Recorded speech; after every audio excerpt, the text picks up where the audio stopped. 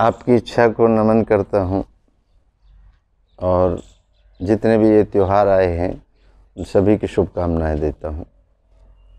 आज एक प्रश्न है एक नौजवान का, जिसका प्रश्न है कि ये गरीबी और बेरोज़गारी मेरे साथ बहुत ज़्यादा है, मैं बड़ा परेशान हूँ और मैं आत्महत्या करना चाहता हूँ। कभी कभी मुझे ऐसा लगता है। तो श्रीमान जी जो मध्य प्रदेश से खंडवा ज़िले से है तो ऐसे प्रश्न काफ़ी लोगों के हैं और मन में विचार आते होंगे। ये स्वाभाविक सी बात है कि जब भी आप परेशान होते हैं तो इस तरीके के विचार हमारे अंदर उत्पन्न होते हैं जब आप नेगेटिव हो जाते हैं। तो नेगेटिव हम क्यों होते हैं? और हमें किस तरीके से अपने आप को पॉजिटिव करना है? उस पर हमारे देश के अंदर बहुत बड़े बड़े महापुरुष पैदा हुए हैं। उन्होंने ऐसी परिस्थितियों में अपने आप को सरवाइव किया, अपने आप को ज़िंदा रखा, और जब इस दुनिया से वो गए, विदा हुए तो वो एक मुकाम पर हासिल होके और ये आत्महत्या का जो विचार है, ये हर व्यक्ति के जीवन में आता है। चाहे वो बेरोजगारी को लेके हो, चाहे वो पैसे की कमी को लेके हो, चाहे वो पारिवारिक परिस्थितियों को लेके हो, चाहे वो सामाजिक परिस्थितियों को, परिवेश को लेके हो तो ये जो आत्महत्या के जो विचार आते हैं, ये आप अकेले नहीं हैं। बहुत लोगों को बहुत क्या मैं तो ये कहता हूँ, दुनिया के 99 परसेंट लोगों के दिमाग में कभी ना कभी ये विचार उत्पन्न होता है। लेकिन इस विचार को हमें अपनी इच्छा में कन्वर्ट नहीं करना। और जो लोग इस विचार को अपनी इच्छा में कन्वर्ट कर देते हैं, वो आत्महत्या कर लेते हैं। तो सबसे पहले तो आत्महत्या किसी चीज़ का समाधान नहीं है। समाधान हमारे इर्द गिर्द ही होता है। और उस समाधान को अगर हम ढूंढें तो डेफिनेटली मिल जाएगा। जैसे आज मैं ज़िक्र करना चाहूँगा स्वामी विवेकानंद जी का, जो एक बहुत भरे पूरे परिवार में जिनका जन्म हुआ, जिनके पिताजी बैरिस्टर थे, बंगाल की धरती पर उन्होंने जन्म लिया, जिनकी माताजी बड़ी ही सुंदर विचारों वाली महिला थी। स्वामी विवेकानंद जी अच्छी पढ़ाई करी, अच्छे स्कूल में रहे, क्योंकि उनकी फाइनेंशियल जो स्थिति थी, वो बहुत अच्छी थी। उनके पिताजी एडवोकेट थे उस ज़माने में। तो टाइम जब ख़राब नहीं कहेंगे, जब टाइम बदलाव का आता है तो परिस्थितियाँ प्रतिकूल होने लगती हैं। जब समय आपसे कुछ कराना चाहता है एक आप ऐसे भी ले सकते हैं कि मेरा टाइम ख़राब आ गया। और दूसरा आप ऐसे भी सोच सकते हैं कि अब कुछ बदलाव होना है। इसलिए मेरे सामने प्रतिकूल परिस्थितियाँ पैदा हो रही हैं। तो स्वामी विवेकानंद जी जब सत्रह वर्ष के थे, जब कॉलेज में पढ़ाई कर रहे थे, तब उनके पिताजी की मृत्यु हो गई। और पिताजी कमाने वाले थे, उनकी मृत्यु हो गई। तो उस समय उनकी परिस्थिति प्रतिकूल हो गई। और पारिवारिक जो अच्छे तरीके से जीवन जी रहे होते हैं, और जब ऐसी घटना किसी घर में हो जाती है तो उनके जो इर्द गिर्द उनके जो रिश्तेदार, उनके जो परिवार होते हैं, वो उस समय बदला लेने की स्थिति में आते हैं। कोई पिताजी की सोच का बदला बच्चों से लेता है कोई बच्चों की सोच का बदला बच्चों से लेता है, कोई उनकी आर्थिक स्थिति मज़बूत होती है, उसके प्रति नफरत पैदा करके उसका बदला लेता है।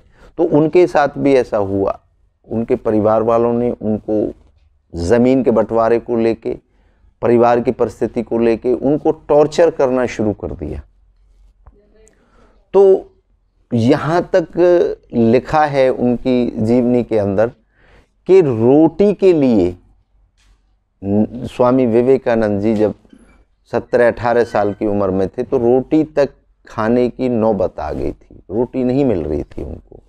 और यहाँ तक भी लिखा है कि वो एक समय उपवास करना शुरू कर दिया था। अपनी माँ को ये कहते थे कि मैं बाहर खाना खा के आया हूँ, मैं किसी रिश्तेदार के यहाँ खाना खा के आया हूँ, ताकि उनकी माँ खाना खा सके। लेकिन बाद में धीरे धीरे करके उनकी माँ को भी महसूस हो गया था कि वो खाना बचाते हैं ताकि उनकी माँ को खाना मिल जाए। विवेकानंद जी जीवन में अनेक पड़ाव ऐसे आए।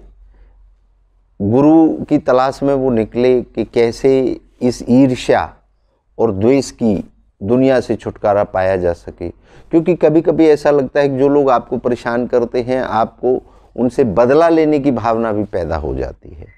तो स्वामी विवेकानंद जी पढ़े लिखे थे, इसलिए वो बदला नहीं, बदलाव चाहते थे। बदला नहीं, बदलाव चाहते थे। तो बदला कमज़ोर लोग लेते हैं। मूर्ख होते हैं वो लोग, जो लोग आपसे बदला लेते हैं। वो कभी तरक्की नहीं कर सकते। और आप भी उस समय उन्हीं की कैटेगरी में शामिल हो जाते हैं, अगर आपने भी बदला लेने की सोच ली। तो परिस्थितियों को देख करके आपने अपने अंदर बदलाव करना होता है। तो स्वामी विवेकानंद जी ने अपने अंदर बदलाव की सोची, बदलाव की सोची तो वो ऐसे ऐसे गुरुओं के पास गए ऐसे ऐसे विद्वानों के पास गए कि जहाँ से उनके प्रश्नों का और प्रश्न उठना ये एक बदलाव है। प्रश्न को दबाना ये एक क्षति है, ये नुकसान है। तो आपके अंदर इच्छा उत्पन्न हो, प्रश्न उत्पन्न हो तो ये आपके अंदर कुछ बदलाव का संकेत है। तो वो अपने बदलाव के लिए जगह जगह विद्वानों के पास, गुरुओं के पास पहुँचे, लेकिन वो कहीं भी उन्हें सेटिस्फैक्शन नहीं मिला। रामकृष्ण परमहंस जी, जो उनके गुरु रहे हैं, वहाँ पर जा कर के उनको उनके प्रश्न का उत्तर मिला। जब उन्हें उत्तर मिला और एक समय ऐसा आया कि उनके गुरु की भी मृत्यु हो गई। जब वो बदलाव के स्थिति में थे, तब उनके गुरु की भी मृत्यु हो गई। जब मृत्यु हो गई तो फिर एक दोबारा से उनको उसी स्थान पर अपने आप को महसूस किया। जब ये महसूस किया, फिर उन्होंने प्रण लिया, इच्छा को प्रबल किया अपनी को कि मुझे इस दुनिया के लिए एक मिसाल बन के जाना है।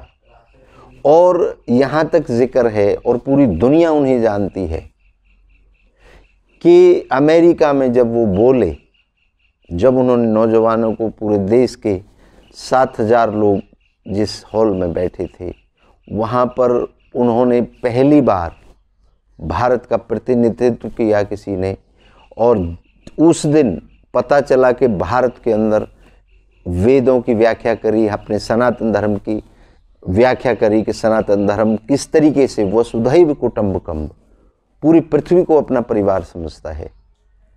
वो विवेकानंद जी ने भारत को पहचान दिलाई। तो विवेकानंद ऐसे ऐसे परिस्थितियों और परेशानियों से और इतना बड़ा सम्मान पूरे अमेरिका के विद्वानों ने उन्हें दिया कि क्लैपिंग करी सभी ने खड़े होकर के उनके भाषण। उन्होंने भाइयों और बहनों शब्द का प्रयोग किया कि मेरे अमेरिकन भाइयों और बहनों तो वो बड़ी सोच का व्यक्ति ही सबको अपना भाई बहन कह सकता है। और यहाँ तक एक पश्चिम की एक महिला थी जिसने स्वामी विवेकानंद जी से कहा कि मैं आपसे शादी करना चाहती हूँ। तो स्वामी जी ने कहा, क्यों करना चाहती हो? उसने कहा, मैं आप जैसा पुत्र पैदा करना चाहती हूँ, आपसे शादी करके। तो विवेकानंद जी ने उसी चीज़ को बदल के उन्हें कहा कि आप मुझे अपना पुत्र समझें। शादी करना तो पॉसिबल नहीं है, लेकिन मुझे ही आप अपना पुत्र समझ लें। तो कितने विचार उनके स्वच्छ थे। और चार साल तक, एक बार अमेरिका जाने के बाद चार साल तक लोगों ने उन्हें आने नहीं दिया। चार साल तक स्वामी विवेकानंद जी अमेरिका के अंदर रहे। और ऐसा बदलाव किया, ऐसा अपनी संस्कृति के बारे में बताया कि चार साल वहाँ पर लोगों को भारत के प्रति, हमारी सनातन धर्म के प्रति, हमारे संस्कृति के प्रति लोगों का रुझान बढ़ाया। उस, वहाँ से आने के बाद स्वामी विवेकानंद जी ने भारत के अंदर रामकृष्ण परमहंस मिशन की शुरुआत की। और जो आज पूरे विश्व में फैला हुआ है। स्वामी विवेकानंद कर्मयोगी थे। उन्होंने एक शब्द कहा, जागो, उठो और तब तक मत रुको, जब तक लक्ष्य की प्राप्ति ना कर लो। लक्ष्य कभी भी छोटा और बड़ा नहीं होता। लक्ष्य आपकी ताकत होता है। तो अपनी जो इच्छा आपके अंदर उत्पन्न होती है, उसके लिए समर्पित रहो। और मैं यही कहना चाहूँगा, जागो, उठो और तब तक मत रुको जब तक आपकी इच्छा की पूर्ति ना हो जाए। और आत्महत्या जैसे विचार आपके अंदर अगर आ रहे हैं तो आप बदलाव की तरफ़ आपका संकेत है।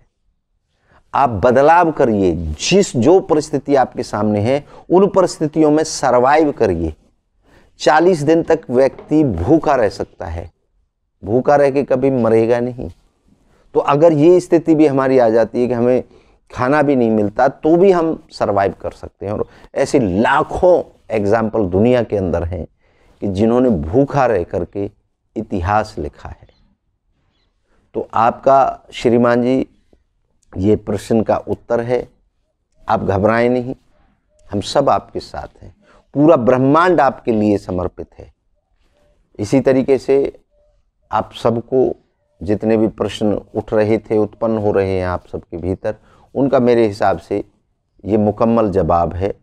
इस तरीके से आप हमेशा खुश रहें, अपनी इच्छाओं के लिए हमेशा समर्पित रहें और अपनी इच्छाओं को पूर्ण करने के लिए तब तक ना रुकें जब तक आपकी इच्छा पूर्ण ना हो जाए। इसी के साथ मैं आज आपसे विदा लेता हूँ। आप सभी का बहुत बहुत धन्यवाद और आपके अंदर उत्पन्न हो रही इच्छा को मैं नमन करता हूँ। जय हो। अगर आप इच्छा पूर्ति समाधान आश्रम से जुड़ना चाहते हैं इच्छा पूर्ति समाधान आश्रम पर आप अपनी इच्छाओं के पूर्ण करने के तरीके जानना चाहते हैं तो आप हमें संपर्क कर सकते हैं। यूट्यूब पर इच्छा पूर्ति समाधान आश्रम इंस्टाग्राम पर इच्छा पूर्ति समाधान आश्रम ट्विटर पर इच्छा पूर्ति समाधान आश्रम, और जितने भी सोशल नेटवर्क हैं, वहाँ पर आप हमें फॉलो कर सकते हैं। हमारी नई नई जो खोज हैं नए जो तरीके हैं, उनको आप सीख सकते हैं वहाँ से। तो मैं आपको यही बताना चाहूँगा, हमारा फ़ोन नंबर है, हमारा व्हाट्सएप नंबर है seven four two eight six zero two six two one हमें आप हमें यहाँ पर फॉलो कर सकते हैं। आपकी हर इच्छा का स्वागत है, हर इच्छा को नमन है और हर इच्छा को पूर्ण करने के तरीके आपको, आसान तरीके आपको बताए जाएँगे। जय हो।